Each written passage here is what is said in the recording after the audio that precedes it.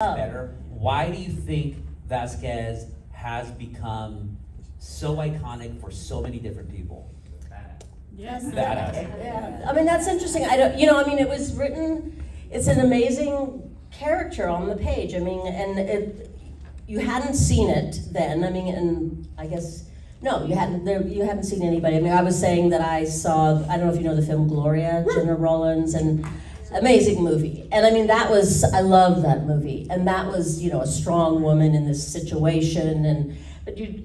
They were like superheroes, I guess. Sheena, Queen of the whatever, but that's Barbarella. or something like that. That's not.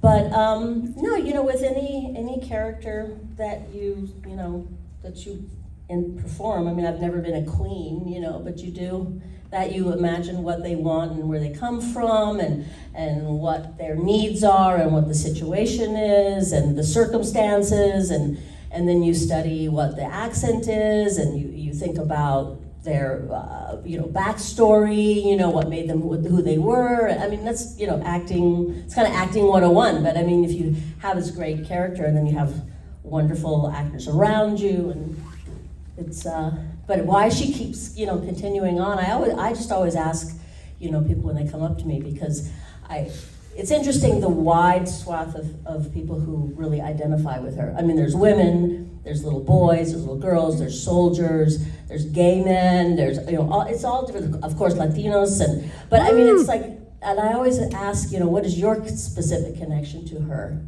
And uh, I, you know people tell me different things but i think it's i mean It's incredible. Uh, uh,